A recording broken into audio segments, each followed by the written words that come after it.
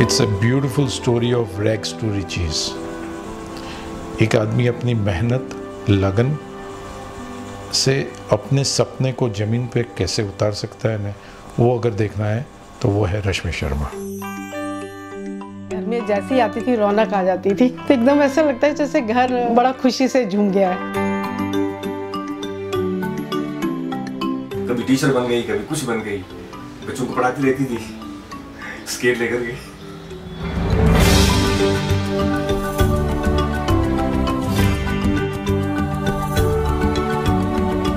Used to participate in dance competitions, various other cultural activities, and she used to perform very well.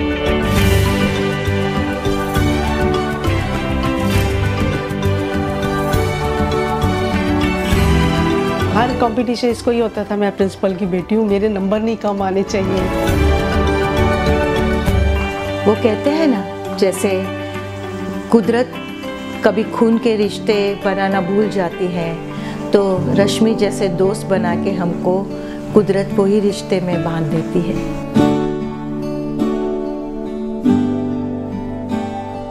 इसका जो काम है एक सोच है वो एक अलग है। डिसिप्लिन बहुत है मेहनती बहुत है। छोटे होते हुए उसमें एक ज़िम्मेदारी की भावना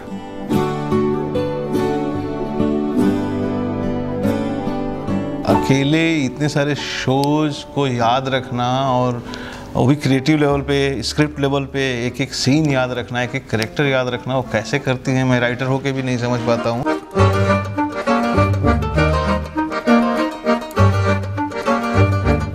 When she comes for a meeting, she's going to be like the happiest person in that meeting and she's just going to drive the meeting in such a positive way. It's a joy working with Rashmi.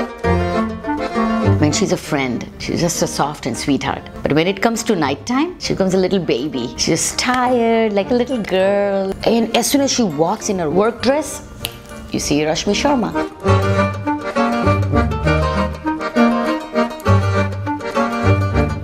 उसकी आवाज़ सुनते ही जो मेरी team मेरा जो group था हम लोग बोलते थे देखो यार आ गए देखो, काँव काँव काँव काँव। ये वाला मेरा एटीट्यूड रहता था। एक दूसरे को देखना ही पसंद नहीं करते थे। तो मैं बोला, भाई, इस चीज़ से तो निकलने का कोई तरीका ही नहीं है। अगर इसे निकलना है तो ये काँव काँव जो है ना, कोयल वाली आवाज़ हो जानी चाहिए। सारे असिस्टेंट मेरे को देखे। बोले, क्या हो गया है? मैं बोला, नहीं, कुछ ऐसे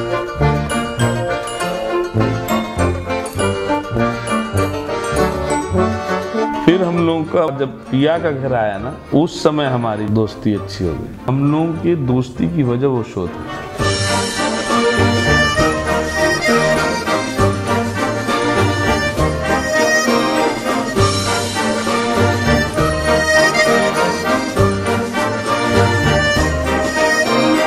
कुछ नहीं, ऐसे ही हम लोग की दोस्ती बनी रहे। हम तो मतलब प्यार, बिज़नेस, पार्टनर हस्बैंड वाइफ से ज़्यादा सबसे पहले हम दोस्त। हैं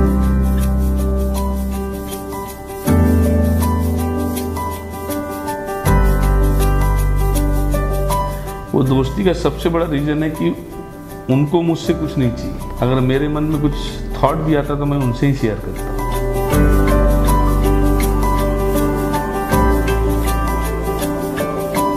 हर एक चीज़ में उनका माइन्यूट ऑब्जर्वेशन अंडरस्टैंडिंग का पावर उनका कंसंट्रेशन जो होता है काम में उसकी वजह से आज जहाँ पर भी पहुँचे हैं वहाँ पर वही क्वालिटी उनको ले गई है। So so, Rashmi Sharma is a full package of success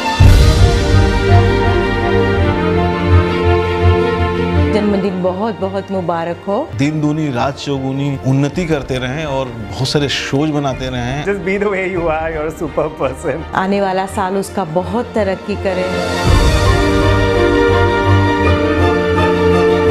भगवान इसको बहुत लंबी उम्र दे।